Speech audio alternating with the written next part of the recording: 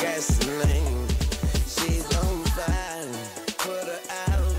As a matter of fact, take her out.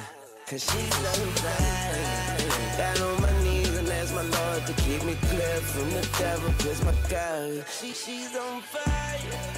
Yeah.